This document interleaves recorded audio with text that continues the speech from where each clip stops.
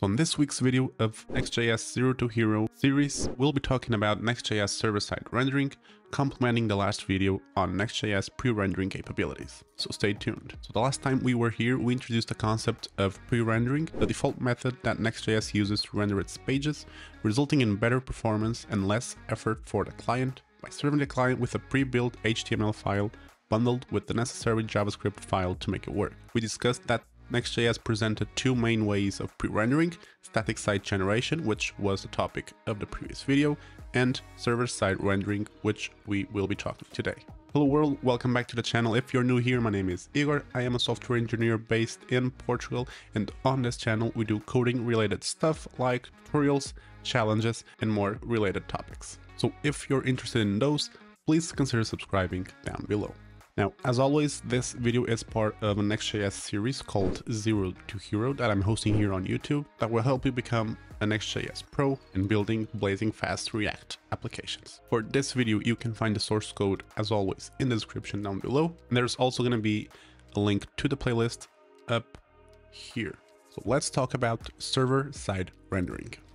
Now, server-side rendering works on the same basis as static site generation, where the goal is to serve the client with a pre-built static HTML page that the server has pre-rendered and that is then hydrated by the bundled JavaScript file, therefore restoring the page to its true interactive glory. The main difference to be aware of between both of these pre-rendering methods is the point in time when the page's HTML is pre-rendered. Static site generated pages are pre-rendered at build time when we run the next build command. It is a case of generating the pages and forgetting about them until a new build is necessary to reflect new changes on the platform. On server-side generated pages, however, pages HTML is generated on each request to the server. This means that the same page is rendered multiple times along the application's lifetime, basically as many as it is requested unless we use caching, but we will be talking about later. With this out of the way, as you can see, server-side rendered pages will be less performant than statically generated pages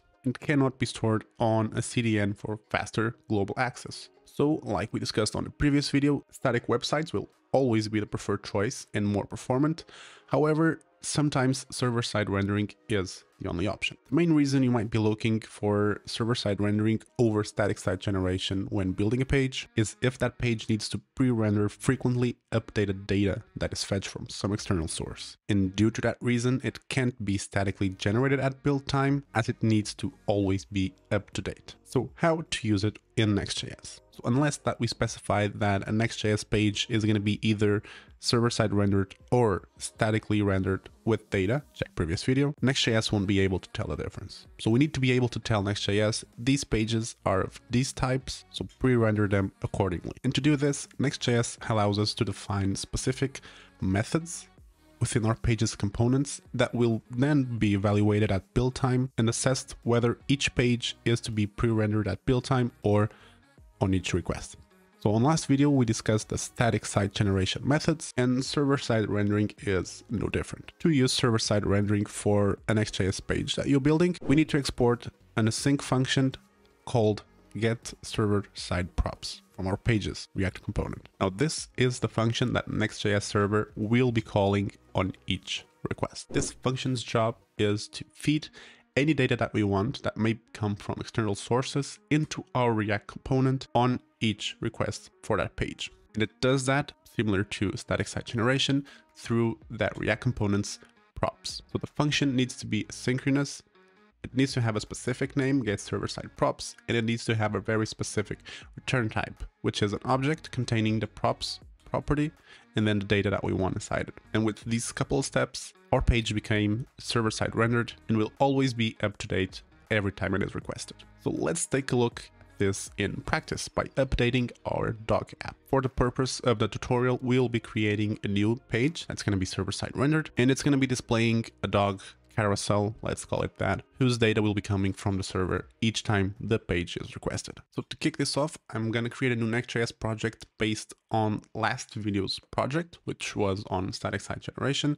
And to do this, I'm going to use this command, which is going to use npx to call the create next app tool without installing it. I'm going to name it Next.js server-side rendering, two flags for using npm and for using TypeScript, and then the dash e flag is going to specify the template that we want to use to generate this project. And I'm using the last video's project, which was the static generation one. So if I now press enter, it's going to install dependencies, create our project, and this should only take a minute. Okay, so now we have our project created.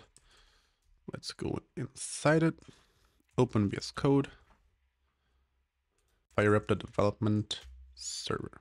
Okay, and this is exactly what we had on the last video. If we then just take a look at current project that we have, we have this index page where we have our dogos, which came from an in-memory database that we created. So just a file exporting an array of dogs. And there's the statically generated pages for each of the dogs. So what we're going to do now is create the new page, the new carousel page that's going to be server-side rendered. And the first step to do that is going in pages. We're going to create that within the dogs directory, within the dogs route. And in it, we're just going to create a new file, call it carousel.tsx. So what we're going to do here is export a new React component that we're going to call carousel. And this one will be typed with a data prop that's going to be an array of dogs, which is going to receive by the get server side props function that Next.js will call on every request. Now this dog interface was created also in the last video. It's within the definitions file. We're going to check that in a moment.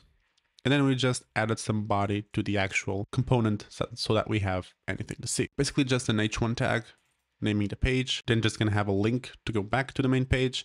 And in here is where we're gonna create the carousel once we have the data. This is the interface that we created to represent the dog. So it's just a basic object with an ID, a name, and a description.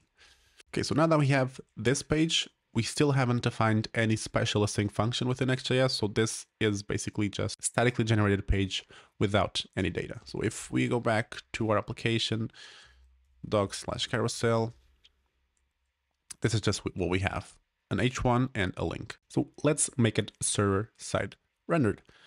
Let's add the magical function that will make this a server-side rendered page, the get server-side props function specific name, we typed it because we like using JavaScript and having everything typed.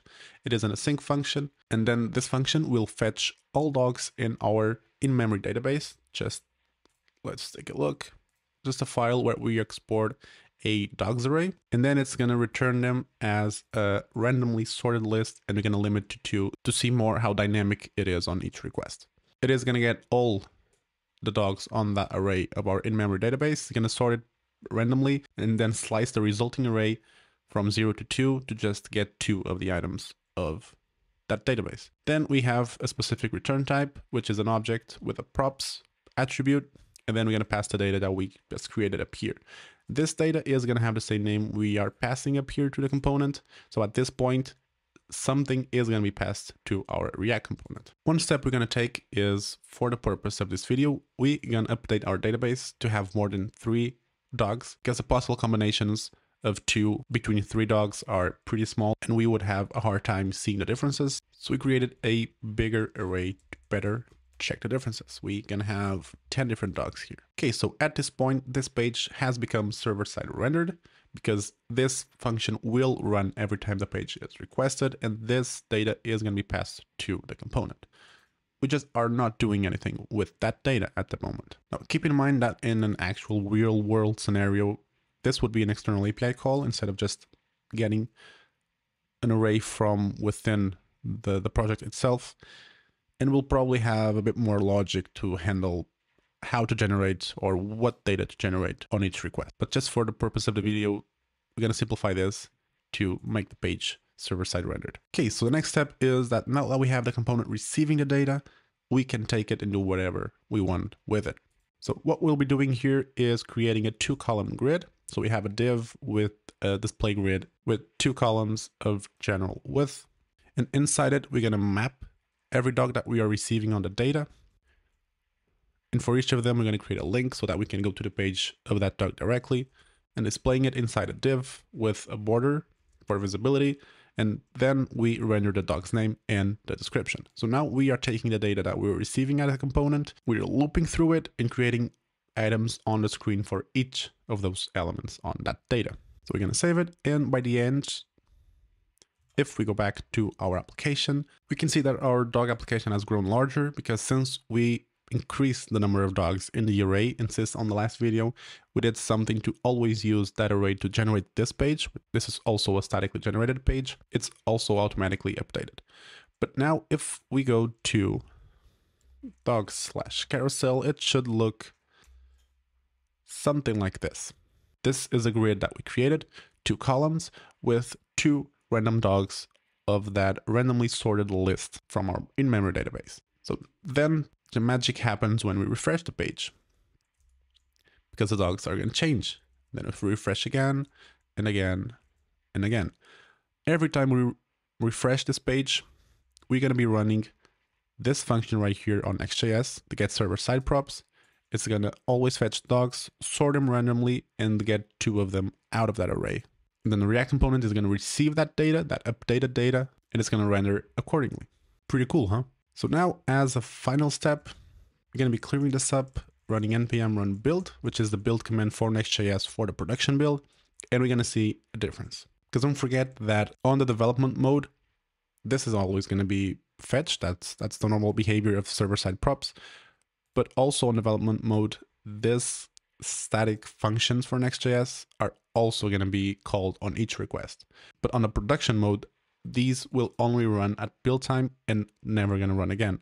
In contrary to this server-side props function that will be run on every request on production or development. Now that we ran the run build command, we can check the difference, which is these pages are still the same. This icon right here represents down here that it is statically site generated using static props, but now we have a new symbol right here, which is on our docs carousel page. And this symbol indicates that it is a server-side rendered at runtime. So at this point, we have three different types of pages on our application. We have static pages, we have statically site generated pages using external data, and then we have our server side generated pages. And this was it for this video. We just created a server side rendered page within Next.js, and we now have basically a complete application using the three methods that we can use within Next.js. If you run into any trouble with either this or any of the previous videos, you can feel free to reach me out on Twitter. My DMs are always open there.